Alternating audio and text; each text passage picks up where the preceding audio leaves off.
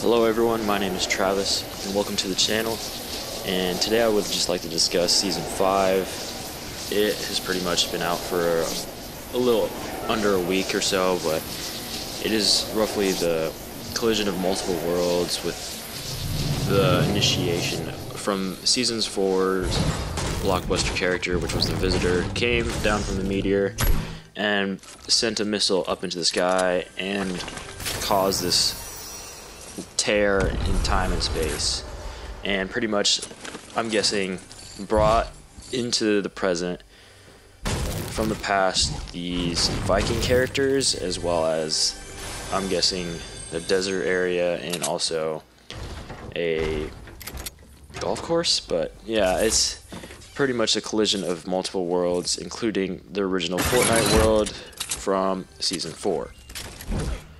Now, what I'm guessing may happen further on down the road in Season 5 will more than likely be a fight of these multiple worlds that have just been brought together on this island. You may expect to see possible environment changes similar to the ones we saw when the visitors showed up in the beginning of Season 4, how we destroyed Dusty Depot and turned it into a divot. Now, the environment changes we have already seen have been Anarchy Acres being completely turned into a golf course, Moisty Mired being turned into a desert, and the dinosaur foot just being completely removed and covered over by a waterfall from the Vikings mountain.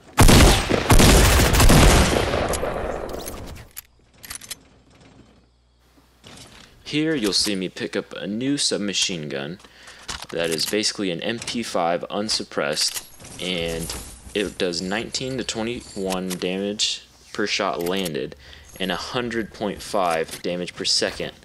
So that is pretty good compared to other submachine guns. And this, I'm of course talking about the gray submachine gun, of course. And there are even higher tiers of this submachine gun. It is also available in the green version and as well as blue.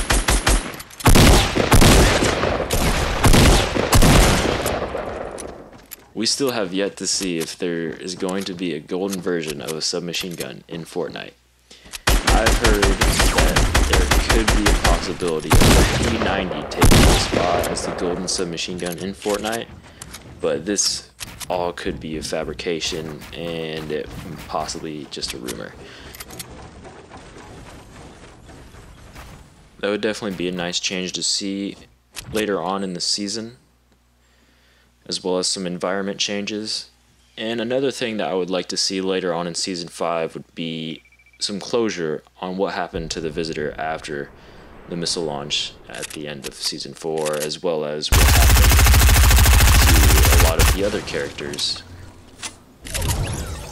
Epic still has the opportunity to implement the answers to these questions within season 5, but We'll see. Maybe they will put them in there, but maybe they won't. Well, anyways, those are just a few thoughts for me on Season 5 of Fortnite. Tell me what you think about them, and give let me hear your opinion on it in the comment section below. Uh, please like this video, subscribe if you want to see some more of this content, and yeah. Hope you guys have a wonderful day, and thank you. Bye.